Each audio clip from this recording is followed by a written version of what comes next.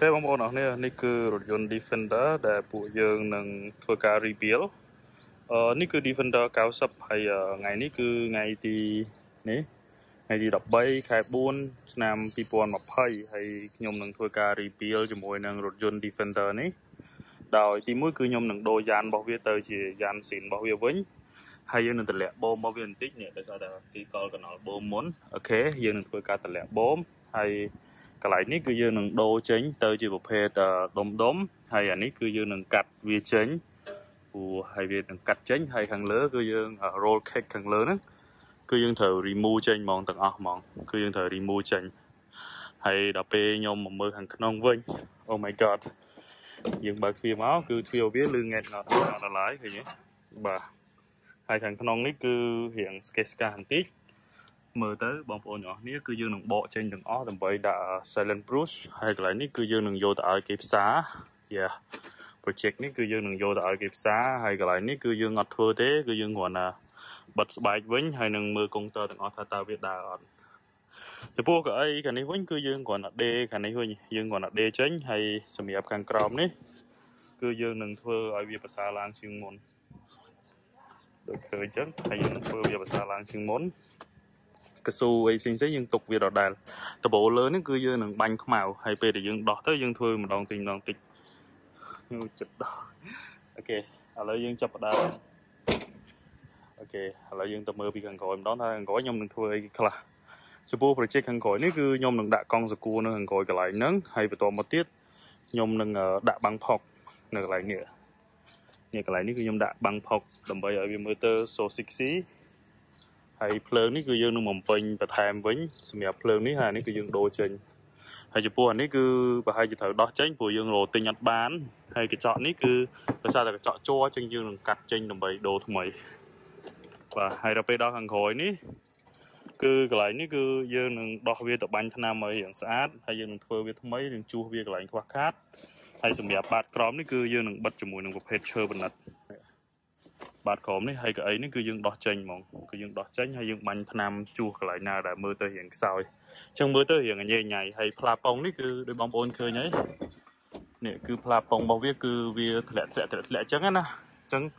យើងនឹងធ្វើដបូលនេះឡើងវិញហើយដបូលគឺខ្ញុំជ្រើសរើសពណ៌ដដែលគឺពណ៌សអឺស Defender ខាងក្រោយនេះយើងនឹងរោតែមកន្លែងនេះគឺបិទ Land Rover ដដែលវិញ ហើយទ្វារហើយខាងនេះគឺយើងអត់មានប៉ះពាល់អីទៀតទេហើយយើងចូលមកដល់ខាងនេះពេលយើងចូលមកដល់នេះគឺយើងគ្រាន់តែតម្លាក់បូមនេះយើងតម្លាក់កណ្ដោលបូមនេះគឺវាទៀបវិញហើយយើងដូរយ៉ាន់វាទៅជា16ឬក៏18ព្រោះយ៉ាន់នេះយ៉ាន់20ហើយចាហៀងខាងនេះវិញបាទអូខេឥឡូវខ្ញុំចាប់ផ្ដើមបើកទ្វារឲ្យមើលនៅខាងនេះគឺសម្រាប់ស្បែកទាំងអស់នេះគឺយើងនឹងដូរចេញទាំងអស់ ហើយម៉ាស៊ីនជែកតាប់ឡូនេះគឺយើងនឹងធ្វើការឆ្កឹះចេញហើយរបស់ដែលមើលទៅញ៉ៃញ៉ៃហ្នឹងគឺដកចេញទាំងអស់ជាមួយខ្ញុំគឺខ្ញុំដកចេញទាំងអស់ហើយកញ្ចក់នេះបែកយើងប្រហែលជាត្រូវដូរកញ្ចក់មួយទៀតបាទហើយ project នេះយើងចាយលុយប្រហែលជាចូល2000ដុល្លារហើយសម្រាប់ខាងនេះវិញគឺយើងនឹងដេថ្មីហើយខាងនេះវិញអូខេបាទខ្ញុំដោះកៅអីនេះមកអូអ្នកអស់នេះឃើញហើយ នេះគឺកន្លែងដាក់បតបជាភ្លើងមកវាវ៉ាវ amazing ឃើញទេនេះគឺយើងនឹងស្ដារកន្លែងនេះវិញឲ្យវាមើលទៅស្អាតហើយយើងនឹងដោះកៅអីចេញដើម្បីគេ clean ហើយនឹងគេជួសថ្នាំឲ្យវាមើលទៅប្រសើរឡើងជាងមុនចូលវិញយើងដាក់ចុះអូខេនេះគឺយើងដាក់ចូលមកញ៉ាំរបស់វាបាទអូខេអញ្ចឹងតើតើនឹងប៉ុណ្ណឹងចំហៀង ហើយចំពោះគ្រឿងក្រមវិញគ្រឿងក្រមវិញដោយសារតែបូមរបស់វាមុនហ្នឹងគឺជាប្រភេទបូម Fox ដូចបងប្អូនឃើញស្រាប់ហើយបូម Fox ហើយកណ្ដុររបស់វាគឺនៅដដែលហើយយើងនឹងឈូសសាប់សាក់ស៊ីឈូសសាក់ស៊ីកន្លែងនេះឲ្យដូចដើមវិញឃើញទេគឺយើងនឹងធ្វើ restore វាដើម្បីដាក់ឡើងកូដវិញចំណែកឯខាងក្រោមវិញគឺយើងឃើញថាអត់មានកលេមុខទេ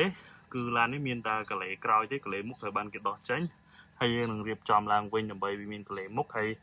ប្រអប់ភ្លេចហើយពងជ្រាបរបស់វានឹងគឺយើងនឹងដោះធ្វើទាំងអស់ដើម្បីកុំឲ្យវាជ្រាបតទៀតអូខេចំណុចដែលវាជ្រាបមានប៉ងមានចកោតហើយប្រអប់លេខនិយាយទៅគឺកន្លែងសំខាន់សំខាន់គឺលេខជ្រាបទាំងអស់ហើយនេះក៏យើងដូរដែរច្រើនច្រើនច្រើនប៉ុន្តែវាតិចតិចតិចប៉ុន្តែយើងធ្វើអាចហើយដល់ពេលចូលមកដល់ម៉ាស៊ីនគឺយើងនឹងជួសជុលនេះឡើងវិញដើម្បីឲ្យវាមើលទៅប្រសើរឡើងជាងមុនជាមួយទឹកសាហ្នឹង ហើយម៉ាស៊ីនត្រជាក់របស់វាគឺខូចហើយកន្លែងម៉ាស៊ីនត្រជាក់របស់វាគឺយើងនឹងជួសជុល system ម៉ាស៊ីនត្រជាក់របស់វាវិញហើយយើងនឹងដោះ air នៅដើម្បីភ្លុំហើយកន្លែងនេះគឺលិចជ្រាបប្រេងអញ្ចឹងកន្លែងលិចជ្រាបប្រេងហ្នឹងគឺយើងដោះឲ្យនឹងរៀបគឺលិចតាក្បាលគេហៅថាក្បាលស្ប៉ាប់ឡើងលើនេះទេហើយយើងដោះចេញហើយយើងនឹងបៀកជាមួយនឹងកាវលាបរងវិញហើយយើងដាក់ចូលវិញហើយ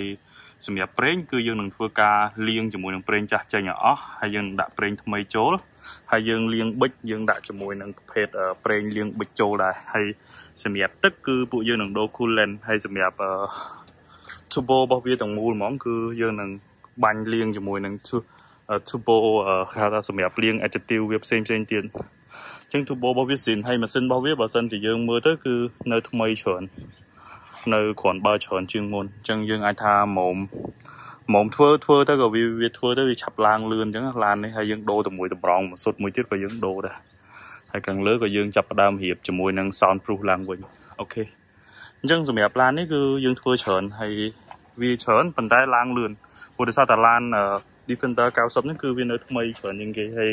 អាចចេះក៏យើងនឹងចាប់ផ្ដើមដូរដែរយើងចាប់ផ្ដើមដូរវាចេញដែរព្រោះឥឡូវបិទកៅជាសិស្សបងប្អូនឃើញ ហើយខាងមុខនេះប្រហែលជាអត់ដូរអីទៀតទេព្រោះ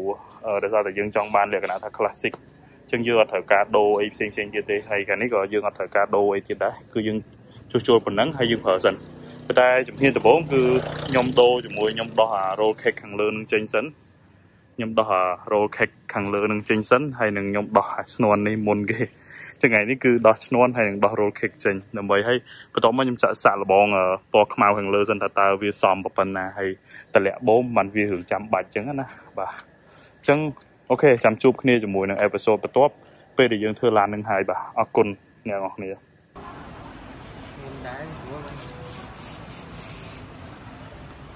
ចាប់ផ្ដើមដល់បានខាងច្រើនហើយ